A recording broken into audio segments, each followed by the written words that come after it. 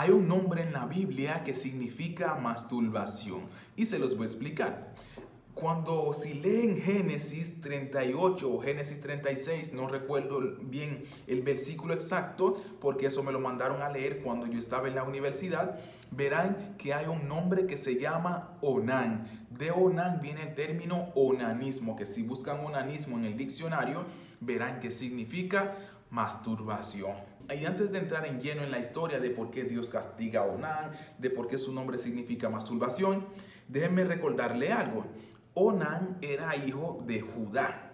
Judá era hermano de José. José fue el tipo que los hermanos vendieron y por unos, unas cuantas monedas y le quitaron una túnica, todo ese rollo.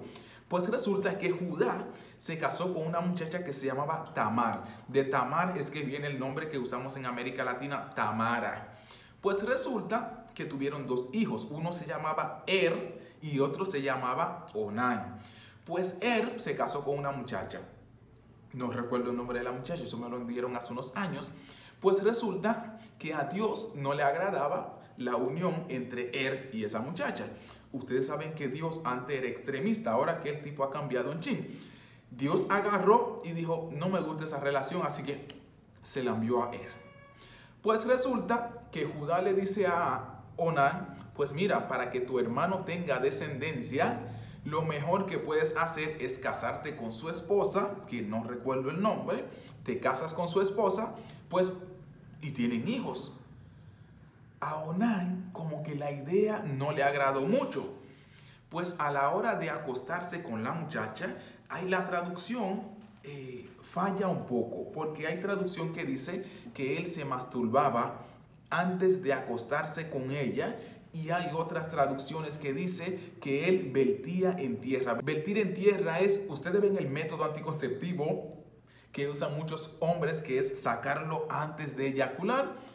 En algunas traducciones se entiende que es eso lo que él hacía y en otras traducciones se entiende que Onan lo que hacía era que se masturbaba antes de acostarse con la muchacha y así no tener ganas.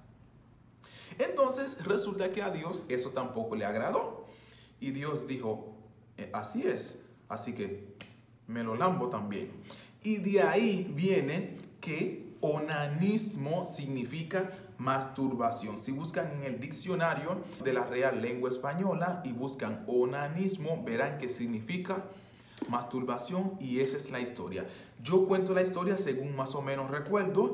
Es lo más probable es que me hayan faltado cosas, porque eso me lo dieron como hace dos o tres años, pero lo pueden encontrar en Génesis o Génesis 36 o Génesis 38. Por ahí es que está.